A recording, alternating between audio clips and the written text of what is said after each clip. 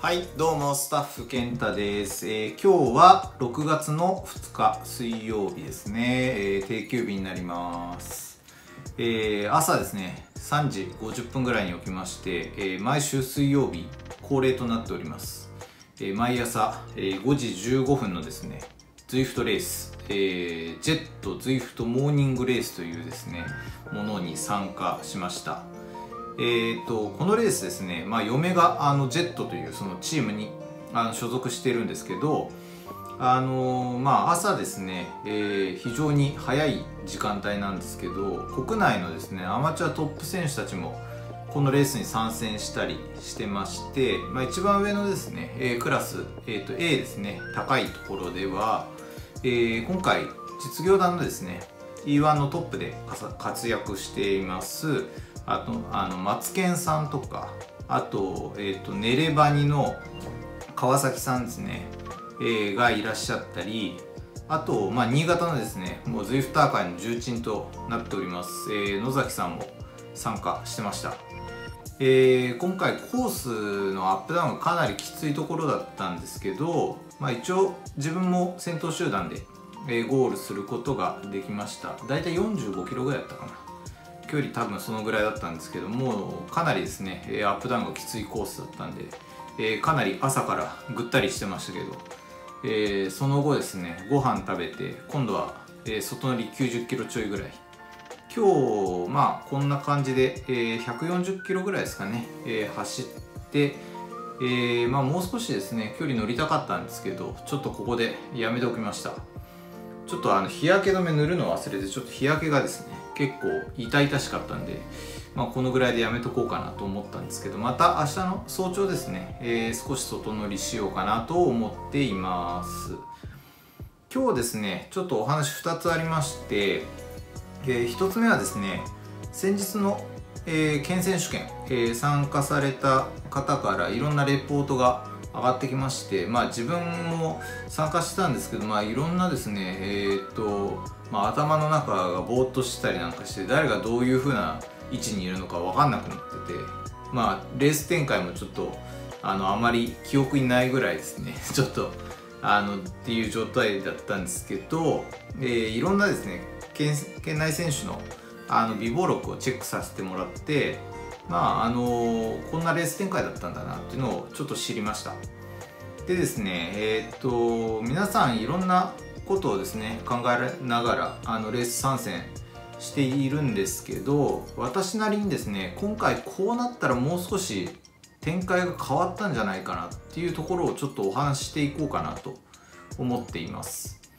まあタラレバの話はですねあんまり好きじゃないんですけど、まあ、自分たちも含めてですね、まあ、県内ライダーがより一層活躍できそうだなというような感じの意味を込めて、えーお話をしていきたいと思っています。まずはですね、えーまあ、人数の多い麒麟山とかあと食農大の選手たちがですね、まあ、序盤からあの逃げを送り込んだんですけどまあその時ですね集団は結構まったりムードでまあ麒麟山と食農大一名一名みたいな感じで、まあ、しばらく進んでいったんですけど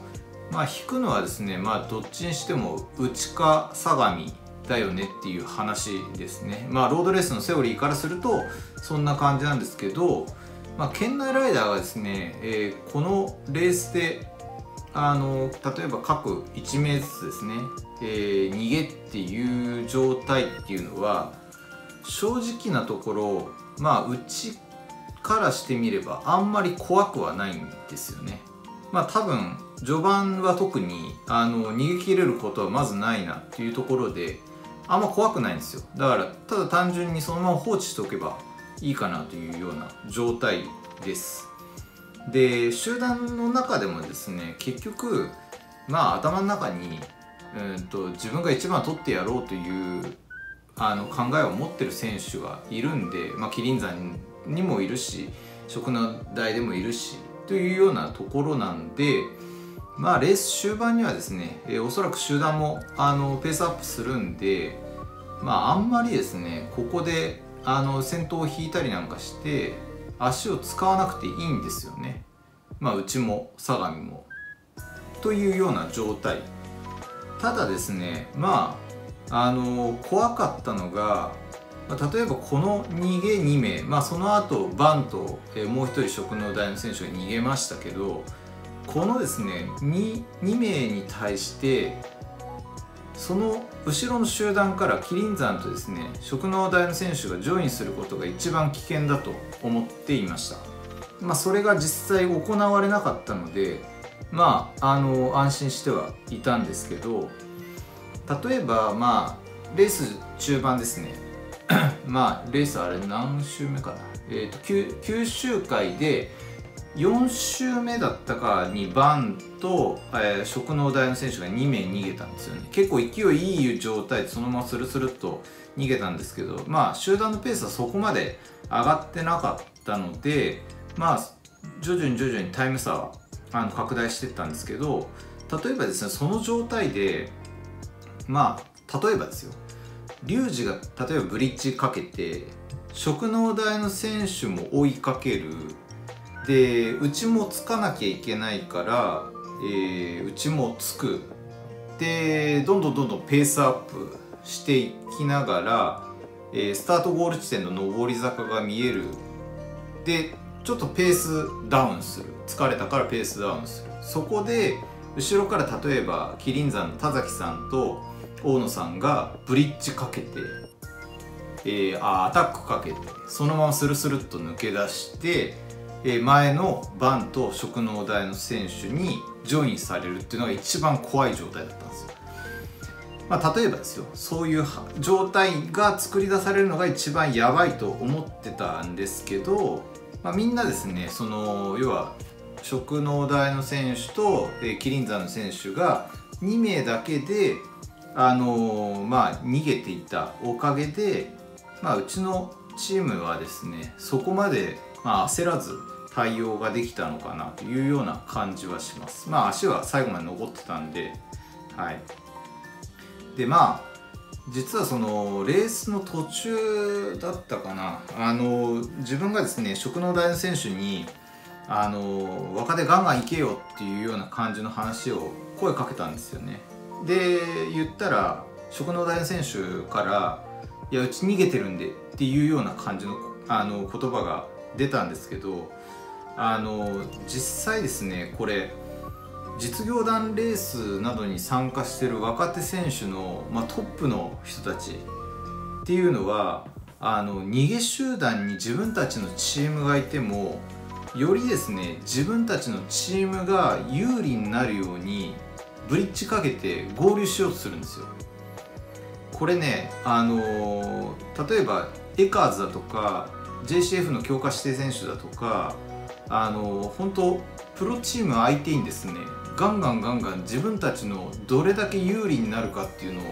もうあの攻めに攻めまくってるんですよね。で実際そのあの足がなくなってヘロヘロになって落ちてくる選手もいるんですけどもうそういう状況までそういう状況になるまでもう追い込んで足を使ってる選手若手選手はすごい多いです。なのでまああの必ずしもその逃げができたから自分たちが引かないでいい楽ができるっていうことはあんまりね考えない方が正直いいっす。はい。まあレースってまあちょっといろいろ難しいと思っててはいるんですけどまあいろんなことをですね、えー、まあ勉強しながらレースもっといろんなレースをですね、えー、見たりなんかして勉強をしていかなきゃいけないかなと思っておりますのでまあ自分も含めてですねえー、まあ、麒麟山の選手たちも多分あのよりですね有利になる方法はもっともっと多分あったかなとは思っていますのでちょっといろいろですね、え、県内選手たちがもっと、えー、強くなれるようにちょっといろいろ考えてい、えー、きたいと思います。来年はですねおそらく県外の強豪選手たちがもうがっつり来るんでまあそのですねガチンコバトルになったとしてもあの県内ライダーの強さとかあとはクレバーなですね走りをしっかりですね観客の皆様に見せつけられるようにこれから頑張っていきましょう。はい。えー、県選手権の話はこの辺りにして、えー、もう一つですねちょっとバッドニュース、えー、暗いニュースなんですけどなんとマレーシア国内がロックダウンというニュースが入ってきました。でなんでこれがバッドニュースかっていうとですねマレーシア国内にはシマノの生産工場があるんですよね。でそこの生産工場って実はロードで言ったら105以下。105ティアグラソラ、えー、クラリスとかその辺のコンポ作ってたりマウンテンバイクとかだったら SLX 以下、まあ、要はクロスバイクも含めて、まあ、そういうようなところをこの生産工場で確か作ってたと思うんですよ。で私もですねこの工場にあれ何年前かな？8年9年前ぐらい10年前ぐらいか。あの実はですねこの工場に見学に行ったことあるんですよ。で今の現状ですねこのシマノのコンポーネントの生産が追いつかない状況でこのですねマレーシア国内ロックダウンっていうのはさらなる生産の遅延が出るような感じではないかなと思っています。あの完成車はですね結構いろんなパーツがあの足りないという状況で、まあ、違うあのパーツで代替していたりはするんですけど、まあ、そのですねシマノのコンポーネント自体が一番ちょっと生産が遅れてるというような感じの話もあるのでもし完成車等でですね予約しているバイク等があったらそのですね入荷予定日が変更になる可能性もあるかもしれないので、まあ、ちょっとですねこの先どういう風になるのか分かんないのでまあ、あのもしショップ等でですね予約をしてるものがあったらあのチェックしてみてください、えー、これ結構ですね衝撃的な感じなんですけど数ヶ月間でもしロックダウンになるっていうところであったらかなり生産が遅れるような感じがします。はい。ちょっとあの自分たちもですね、えー、アフターパーツ等であのリアメカ壊したとかあのブレーキないとかっていうような感じののがですね結構あるので、えー、注意して見ていきたいなと思っております。という感じで、えー、今日のお話は終わりますが、えーと、今週末ですねえっ、ー、と6日の日曜日、えー、富士ヒルですね。あ富士ヒルはもう完全に多分開催されるような状態ですね。今回あの県選手権で優勝したですね、えー、リュウジも選抜クラスに出るみたいでその選抜クラスにはですねまあ私もリュウジもあの ZWIFT でですね所属をさせてもらってるあの ZWC のメンバーはですね9名ほど参戦します。で今年ですねこの ZWC のメンバーがかなり強烈だと思うのでえー、トップですね。おそらくあの池田君というですね、えー、もうめちゃくちゃやばい、あのー、若手のクライマーがいるんですけど、まあ、ZWC の今代表みたいな感じの選手なんですけど、あのそのですね池田君が確実にトップを取ってくれるのではないかなと思っています。で他のですね ZWC のメンバーも表彰台に乗ってもらって、まあ、あの ZWC でですね、え、独占を